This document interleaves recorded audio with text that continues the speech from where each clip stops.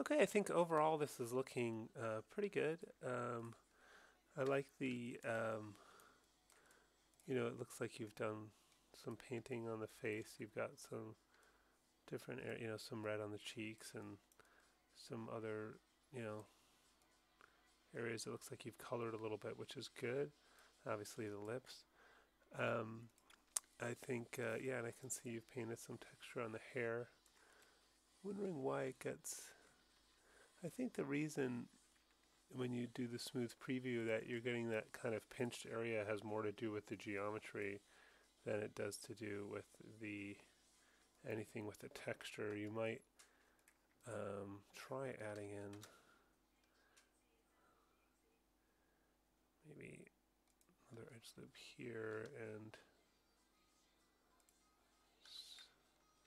see if that gets us any less.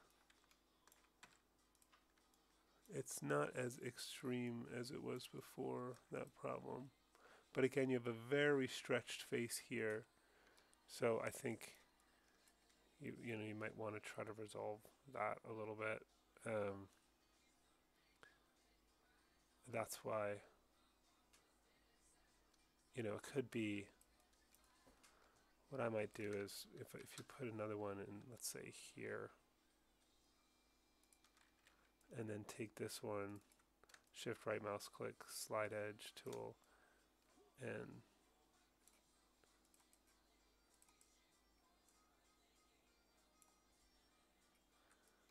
something like that.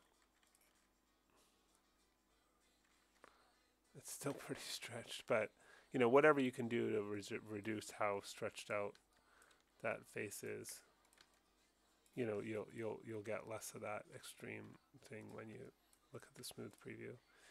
Um,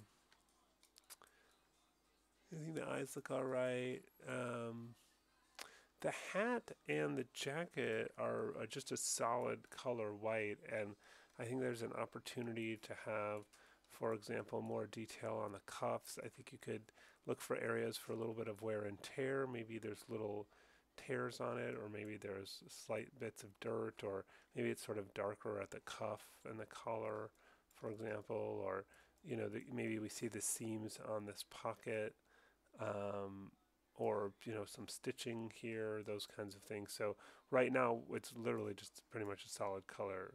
Um, I, I, think it's the pants are okay. Um, you got that texture on there.